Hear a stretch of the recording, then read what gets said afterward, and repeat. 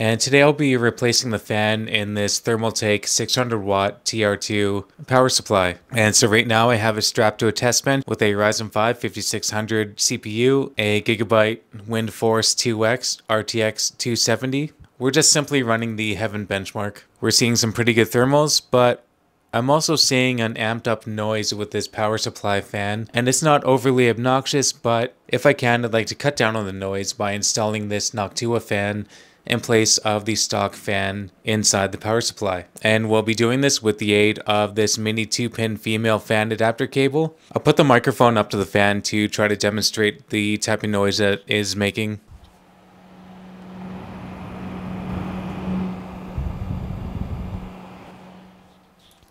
So I don't know how well that will translate to video, but uh, we'll see while I'm editing. So before we start, I should note that there's some rather large capacitors in the power supply that hold electricity. Uh, you should do this with caution and maybe even letting the power supply sit for a couple days.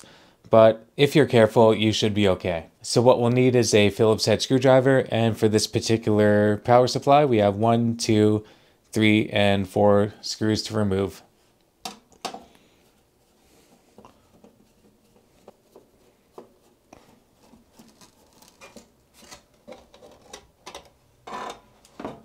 So here we have some rather beefy looking capacitors and some other ones tucked beneath the cables and more further connected to the power supply PCB.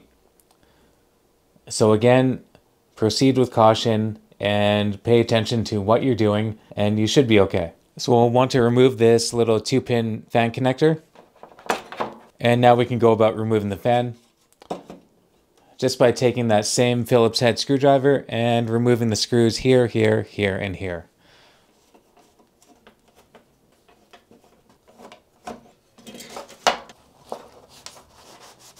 And here we can remove this little plastic dust shield and put it onto the Noctua fan.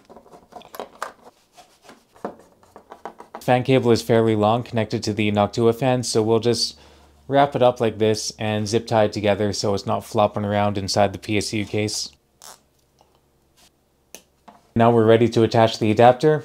That will allow us to plug in this 3-pin fan connector to the 2-pin connector on the power supply board.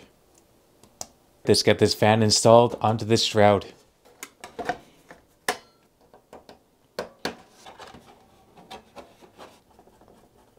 Now take a look at how sharp that looks. And we're hooked back up to the test bench. I thought I'd document the first power on just to demonstrate that yes, this cable adapter does work. The Heaven benchmark has run its course, and we're getting much better noise performance with that Noctua fan installed. I don't know how well this will represent until I review the footage, but I'll hold the microphone back up to the power supply. Hopefully that demonstrates the noticeable difference that I hear just standing beside the unit.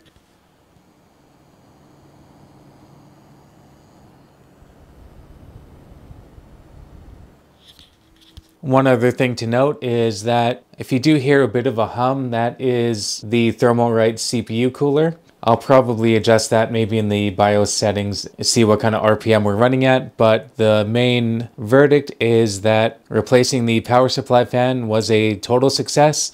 I'm going to continue to test and benchmark the system and of course I won't publish this video if something happens to fail, so if you're seeing it on YouTube, then it means it was a success, and hopefully this helps you out if you're looking to replace your power supply fan if it's noisy or broken or whatever. So again, proceed with caution.